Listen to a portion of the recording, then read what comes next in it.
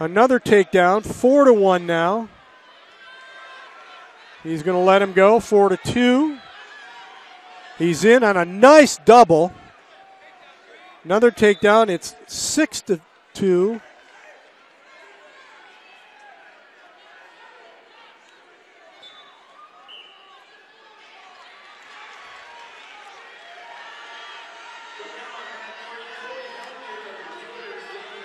And a half. He's going to get some back points here.